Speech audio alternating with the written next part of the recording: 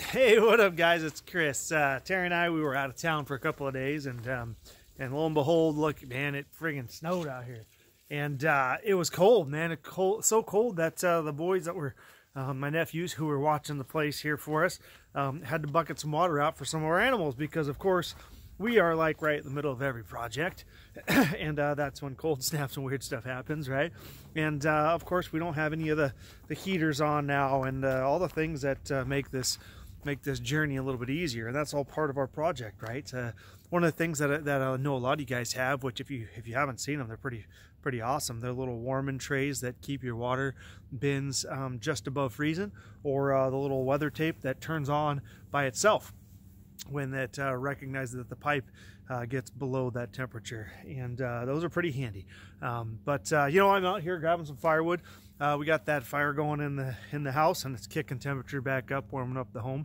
We were gone for a few days, so uh, of course we didn't have it at regular, you know, regular warmth that we would have. But uh, hopefully you guys have a backup system like that too, right? Hopefully you guys are doing firewood. Um, if not, uh, maybe that's something we can help you guys get set up for this year before next winter as a fireplace in your house.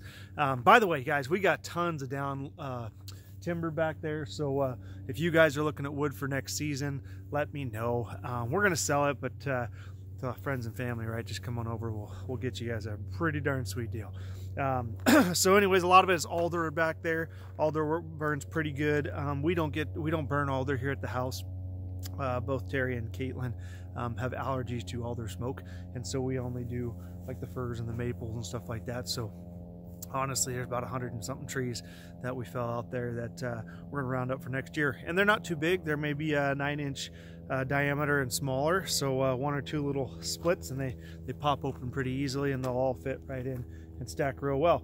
Um, but uh, they'll also cure out pretty fast for this summer. So they should be good um, this, this fall uh, and winter. So if that's something you guys need, let us know. Anyways, guys, we're back in town. Give us a call if you need anything. If any of you guys are out of power, let us know too.